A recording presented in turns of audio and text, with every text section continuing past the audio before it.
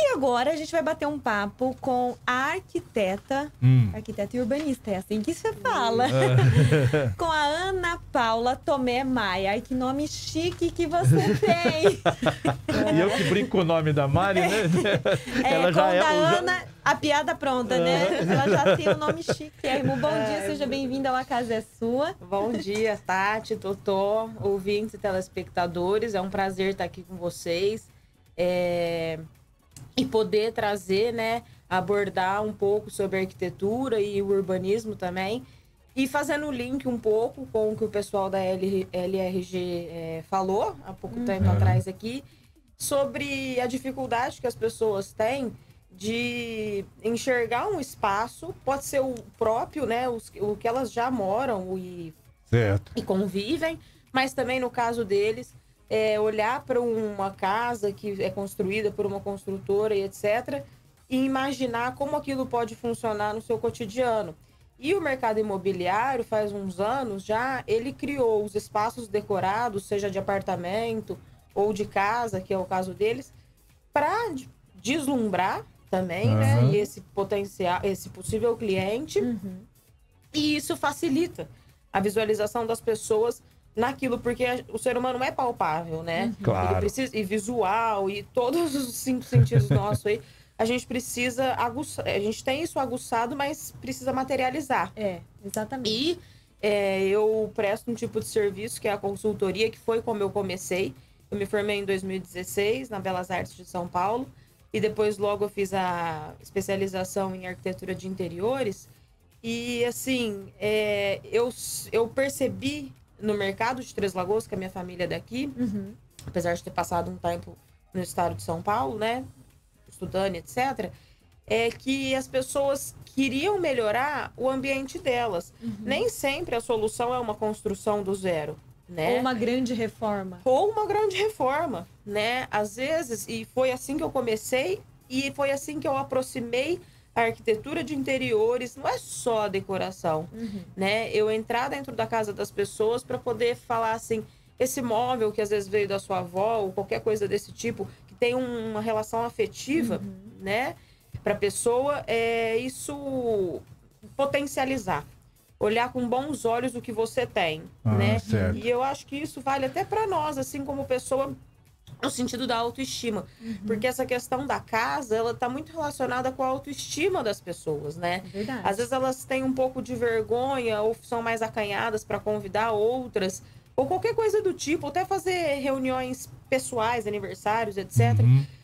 E ficam assim porque a minha casa não é bonita, porque minha casa nunca tá arrumada. Uma coisa que acontece muito também é as, os casa, as pessoas se casam, tudo, vão morar junto. E depois tem os filhos, então fica por muito tempo em função das crianças as casas, né? Ah, não tem enfeite em cima da mesa de centro, por exemplo.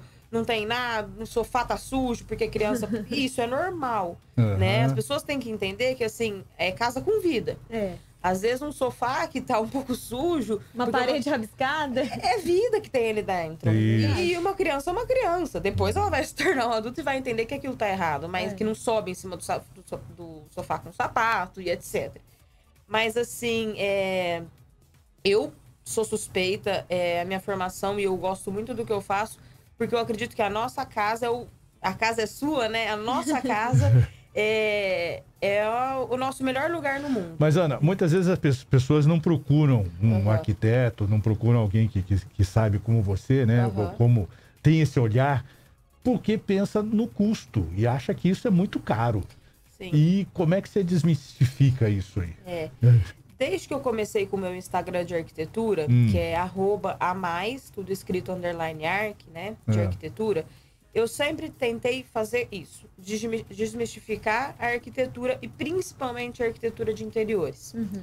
né? Que o arquiteto é estereotipado, ele tem esse estigma de que ele só escolhe as coisas caras, de que ele só sugere o que às vezes é inacessível. Uhum. E por muitos anos, e vocês que são da imprensa, né, são da comunicação, as pessoas ficaram muito com aquela coisa na cabeça da casa de revista. Verdade, verdade. É, e isso Fulano foi- abre sua casa e você Isso, fala, como é. eu sou pobre. Nossa, que É, humilhação. meu Deus, que sonho. Essa banheira. né? E, e só que assim, é, como tudo que é comunicação e é publicado, seja imprens, impresso ou qualquer coisa do tipo, até a novela, por exemplo, aquilo é uma cena, É. né? Uhum. Que as pessoas precisam vender e, e precisam mostrar as possibilidades. Então, essa questão da casa de revista ficou muito tempo assim, a pessoa olhando a casa da revista na capa ou ali dentro e querendo que a dela fosse aquilo. Não, não dá, né?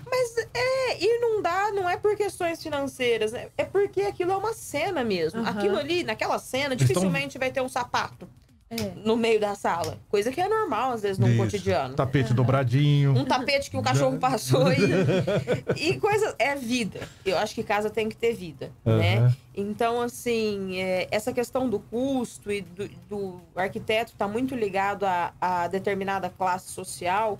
Eu tentei trazer isso. Então, eu já atendi pessoas de inúmeras classes sociais, sociais e, assim, não é, é real isso. Uhum.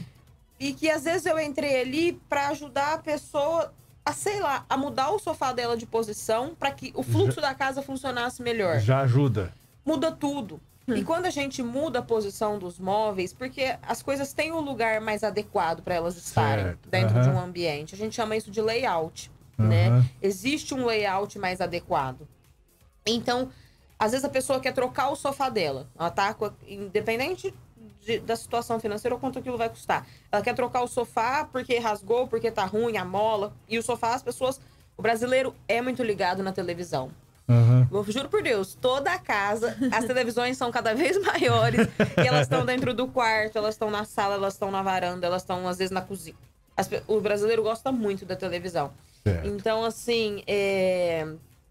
e às vezes é, é- aquilo é trocar a energia da casa. Dar Ah. fluidez. Só que é, flui, o negócio Sabe que dessa muda. coisa, muita gente, a gente se acomoda com essas coisas nas posições que Sim. estão, Sim, né? sim, sim. É, é, eu, por exemplo, é, o ano passado, minha noiva teve aqui, ela pegou e mudou a, a mesa da cozinha de lugar. Aí todo dia você trupicava. Não, eu achei assim, aquilo mudou tudo.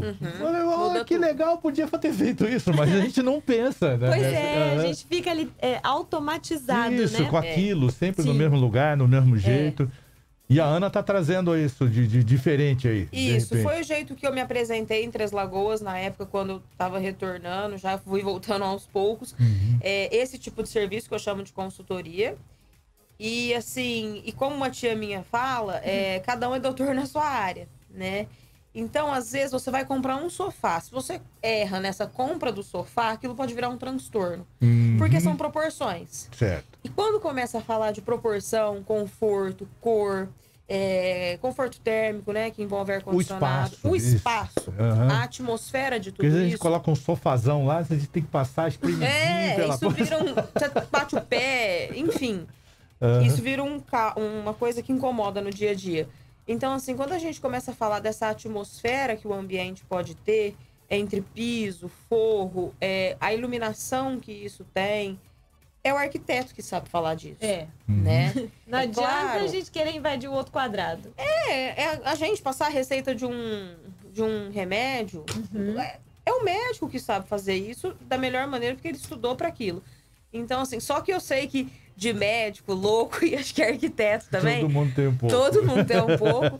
E, e é normal as pessoas gostarem de decoração, por exemplo. É um assunto muito bem aceito. É. E eu tô muito feliz que eu vou aproveitar aqui a oportunidade. Claro, já né, vamos anunciar. Pra contar Faça as honras. né, que agora o A Casa é Sua. Tudo indica que às terças-feiras vai ter um quadro que eu vou participar como arquiteta e falar, claro, de arquitetura, de urbanismo, de decoração, para aproximar cada vez mais as pessoas desse assunto que eu tanto gosto e exerço a minha profissão. É uma coisa que eu já faço no Instagram, mas agora vou conseguir chegar mais perto de muito mais pessoas através do rádio, da televisão, né, da Legal. TVC e da, da Cultura